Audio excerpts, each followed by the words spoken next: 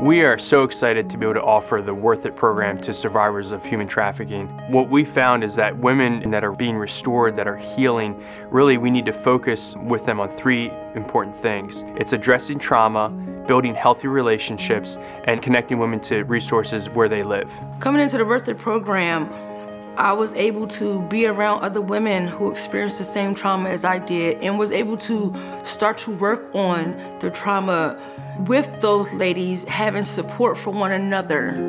So often we see uh, programs addressing more or less the surface level thing like addiction, like homelessness, like unemployment, other maladaptive behaviors, but not really looking at the root cause of that being the trauma. It showed me that my life is still here, like my life ain't over. You know, the worst part is over. I'm here at this program doing what I have to do, and things that happened in the past is the past. When we see real change happen, it's when they've built new and healthy relationships.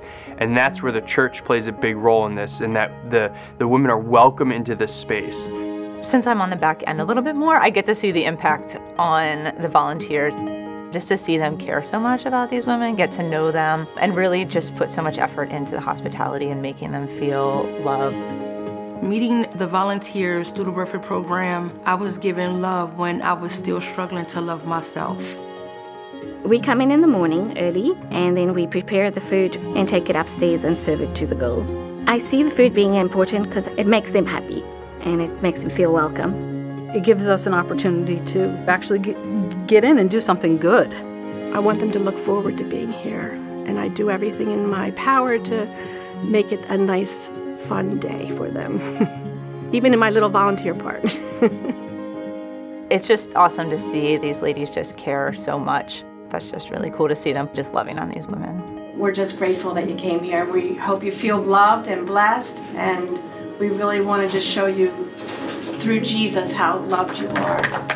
I feel that I'm part of a mission and I'll be able to be part of the change of that woman's life. The best part for me is sitting down with the women and getting to know them. We want them to know that they're truly loved and their Lord loves them.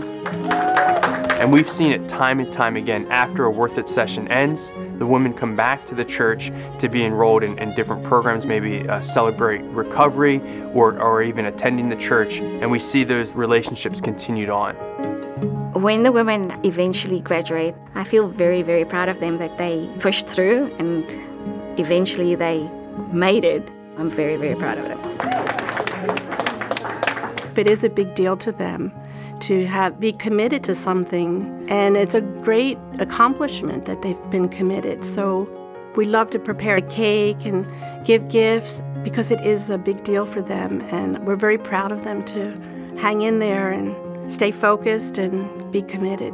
The Worth It program, as great as it is, does not exist without the churches. Women that are survivors are living in all of our communities. So the churches really are stepping up and fulfilling this need by hosting these Worth It sessions. The Worth It program not only gave me hope, but it gave me encouragement. It gave me motivation to want to turn my life around for the better. It gave me a good insight on who I wanted to become in life and become selfless rather than selfish.